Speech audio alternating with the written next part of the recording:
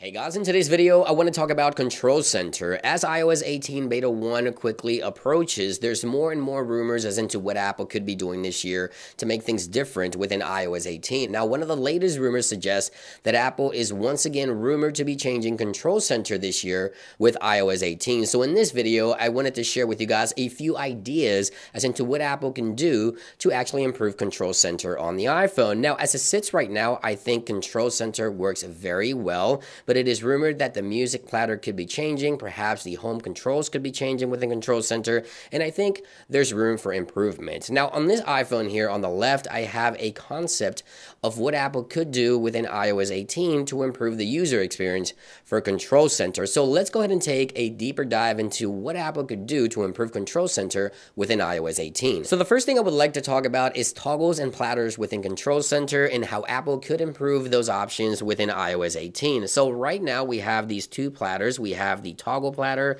and we have the music platter on the top here of Control Center. Now, believe it or not, till this day, not many users know that you can long press on the toggle platter to get access to additional options within the submenu here for AirDrop and, of course, the hotspot as well as you can see right here. Believe it or not, I still get that question. How do I enable hotspot from Control Center or how do I access my AirDrop settings from Control Center? Many users don't know that you can long press, believe it or not, till this day. Now, if Apple was to change that and make it sort of a longer shaped platter like this one here on this concept, I think it'll be a lot better. There's more toggles that fit, a lot quicker to access those toggles at a quick glance and tap, and I think it is time for Apple to sort of make it a little bit better within iOS 18, perhaps changing the shape of the platter to fit more icons. Now, also allowing users to add additional submenus would be an extra, right? Because we can long press and add even more than six, perhaps make this a little larger so we can add perhaps even 10 under the submenu options. But having about six here, I think it's key, especially for those airdrop options where many users still ask me how to get to. I think it would be a welcome change for Control Center within iOS 18.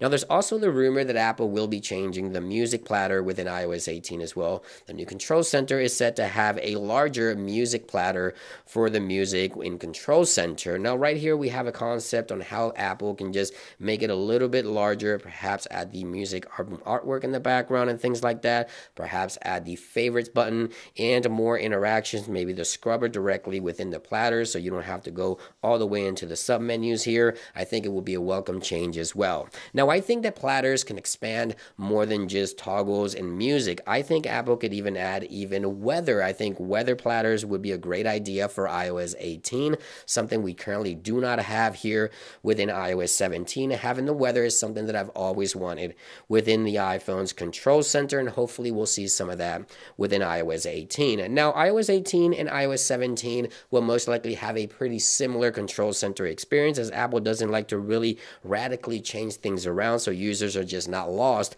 But I think Apple could also allow the option to remove platters that you don't want, right? So, for example, let's say you don't want the actual music platter within your control center. We'll give the user the ability to remove the media controls directly out of that control center if you just don't want them and you want to replace it for something else. I think that's also a great idea. Right now, you can only change these options on the bottom here, and all these options can be changed, right? Can be removed, but you can't really remove any of those media controls if you wish to do so. If you want to add them later, obviously Apple should let you add them later if you wish to do so. But I think having the ability to add platters and remove platters within the control center and moving things around will be a welcome change for control center on iPhone. And I think again, those are going to be some of the changes that will make control center slightly better while retaining basically the same aesthetics, right? So just have a larger toggle platter, perhaps additional platters such as weather, a larger music platter, and more customization overall, I think would give iOS 18